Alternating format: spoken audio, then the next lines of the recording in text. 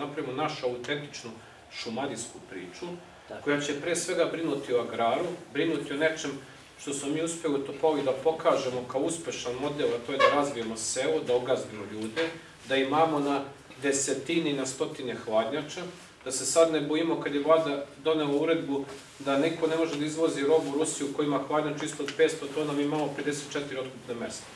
To je model koji možemo da premenimo i u Stojniku i u Orašcu i u svakom drugom selu širom Šumadije i to je ono što hoćemo i večeras vama da poručimo i zašto smo došli kod vas i tražimo vas glas podrške za izbore 4. marta. Zbog toga smo mi ovdje, možete vidjeti ovim flajerima, napravili program u 10 tačaka izborne liste Narod za bolji Aranđelovac. Zašto kažemo narod?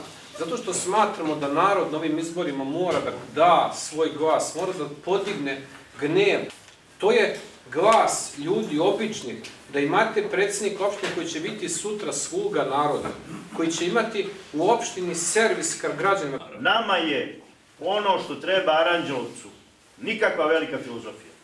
Treba nam sređena opštinska uprava, treba nam nekoliko timova koji mogu da zamene ono što sada imamo, a to je da se odlučuje u nekim neformalnim centrima moći na nekim mestima gde mi iz Skupštine opštine Aranđelovca kao odbornici opozicije koji smo bili četiri godine nismo mogli nikada saznamo gde se donose te odluke, jer mi na Skupštini opštine izađemo s argumentima, kažemo da nije normalno da budžet za 2018. za agrar bude 26 miliona na milijardu i 400 miliona celog budžeta. Odbornici vladajuće garniture ćute, mnogi od njih misle isto kao i mi, ali neće da izađu da kažu. Na sve nam odgovara samo predsjednik opštine, kao da je on jedini čovjek koji opštini nešto zna i radi. I mi shvatamo da tu nešto ne funkcioniše kako treba. E zato smo mi spremni da promenimo sve to. Zato mi u ovoj kampanji nećemo po imence da pominjemo one koji nas pominju i koji o nama šire svakakve glasine, jer mi nemamo potrebu da ikoga pljujemo u ovoj kampanji.